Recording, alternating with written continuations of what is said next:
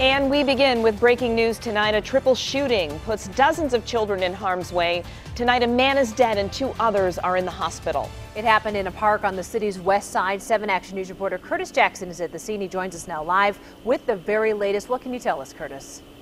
Well, if you take a look behind me, you can see this looks like your pretty standard park. Swings, slide, monkey bars, well-kept grounds. It should be a safe place for children to play. But two groups of young men turned it into a battlefield, forcing dozens to take cover. It's sad for them to be shooting like that. My grandson was right there by them cans right there. He couldn't even run. He had to lay down on the ground. Neighborhood outrage after dozens gathered in a nearby playground are caught in the crossfire of a shootout. Police say two groups of young people exchanged gunfire at Fields Playground here on the city's west side.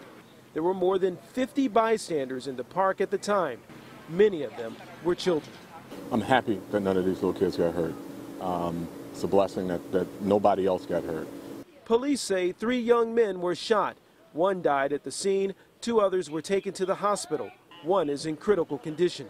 None of the victims were among the bystanders. Police need the neighborhood's help tracking down the shooters. But so far, no one has come forward with any information. You know, if you know something, say something so these senseless situations can go away. I think we can do more than, than the police. At least tell them whether they family or not. They need to stop. And the only way we can get them to stop is get together and, and point them out.